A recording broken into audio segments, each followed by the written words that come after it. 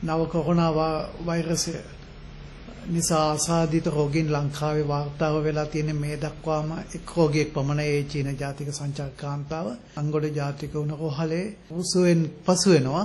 නමුත් ඇයව නිශ්චිතවම රෝහලින් උදාහරණ දිනයක් අපි මේ දක්වා තීරණය කරලා නැහැ. අපි තවමත් ඇය අපේ වෛද්‍යවරුන්ගේ විමර්ශනය යටතේ පසු වෙනවා. ඒ වගේම වුහාන් ප්‍රදේශයේ සිට ලංකාවට පැමිණි ලංකාවේ සිසුන් සහ දරුවන් 33 දෙනා දියතලාව හමුදා කඳවුරේ නිරෝධායනය කටයුතු වලට යෙදিলা තියෙනවා. ඔවුන් දැන් සතියක් ගත කළා. ඔවුන්ගෙන් කිසිම කෙනෙකුට රෝගී තත්ත්වය පිළිබඳව කිසිම සාධකයක් මේ දක්වා හමු වෙලා නැහැ. ඔවුන් සියලුම දෙනාම තමස්වෙන් පසු වෙනවා. මේ අතර අංගොඩ ජාතික උණ රෝහලටත් තවත් හඳුනාගත් අනෙක් රෝහල් වලටත් නව කොරෝනා වෛරස රෝගය ආසාදනය වී ඇතැයි සැක කරන රෝගීන් මේ දක්වා 172ක් පමණ ඇතුල් වෙලා තියෙනවා. එයින් බොහෝ දෙනෙක් එම රෝගය නැති බවට තහවුරු කරගෙන රෝහලෙන් පිට වී ගොස් සිටිනවා. අද උදේ වන විට එම රෝහල් වල එසේ සැක කරන රෝගීන් 15 දෙනෙක් නැවතී පරීක්ෂණ සහ ප්‍රතිකාර වලට යොමු වී සිටිනවා.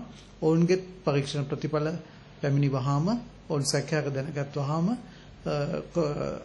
අපිට රෝහලින් පිට කරන්නත් යම්කිසි විදිහක රෝගය තහවුරු වුණොත් ඒ සඳහා අවශ්‍ය කටයුතු කරන්නත් පුළුවන් වෙනවා.